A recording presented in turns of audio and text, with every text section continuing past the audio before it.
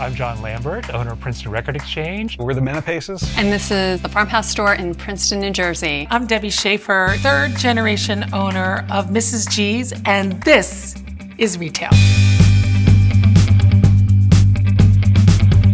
What's wonderful about being in retail is that all 25 employees are like family, as well as our customers. We treat everybody like family. Yeah.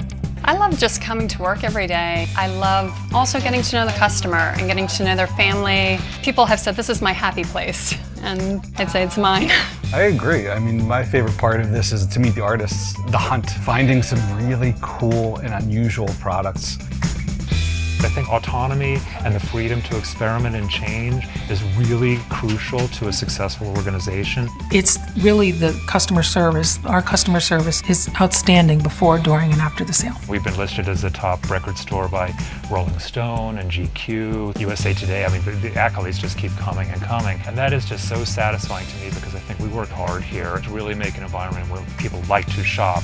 It's a nice thing about being part of a small business here in town is that we are interwoven in the fabric of the community. It's very important as an independent business to give back. It's just a really supportive community, and I really like the way we all sort of band together. We feel very fortunate that as much as we're supporting the local community, the community supports us in return.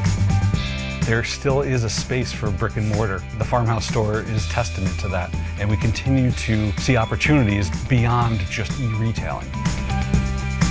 I love the people relationship of this business. People bring their passions to it, their ideas to it, and that's the great way to have a business.